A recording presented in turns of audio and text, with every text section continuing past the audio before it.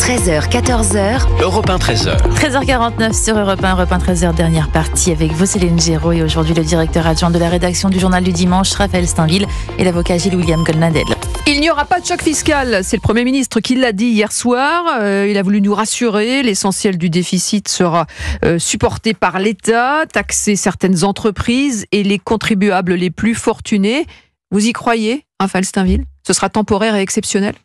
Non, mais ce qu'il ce qui, ce qu'il dit, ce que Michel Barnier dit au nom de la justice fiscale euh, et la, sa manière de cibler et les entreprises les plus rentables et les euh, contribuables les plus riches, euh, je ne sais pas si c'est une mm. bonne solution et si on peut s'en satisfaire parce que ça a des conséquences sur euh, sur l'économie. Euh, autant lorsque l'on coupe dans les dépenses, on sait ce que le, mm. le, bénéfice est escompté.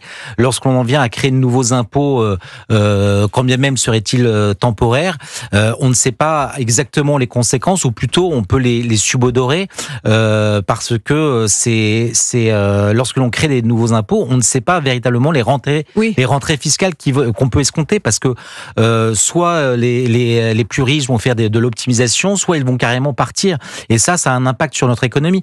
Donc ça, c'est ce qu'on fait depuis euh, finalement des, des, mmh. des, dizaines et des dizaines d'années, euh, avec un résultat qui est toujours euh, plus euh, désastreux donc finalement pour la France. Ouais, donc vous n'y croyez pas? Ben, je, je, je, pense que euh, à raison euh, tous ceux qui aujourd'hui euh, oui s'alertent devant cette mmh. ce, ce, nouveau tour de vis ont quelques raisons de le faire mmh. autant les dépenses de, de l'État qui sont toujours plus prolifiques devraient devraient être très largement coupées coupées en brèche c'est, euh, je crois que c'était euh, depuis depuis 2017, il y a eu 200 000 créations de, de postes de fonctionnaires mmh. en plus. Bah, ils ont prévu dans ils ont prévu dans les 100 000 là. sur ouais. sur l'année précédente euh, et 1 million depuis euh, depuis une vingtaine d'années.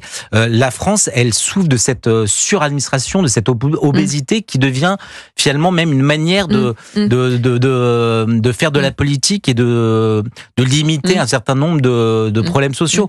Moi, je pense que les, les Français sont très très lucides sur euh, sur le, la manière dont il faudrait mmh. pouvoir mmh. euh, alléger cette cette masse salariale.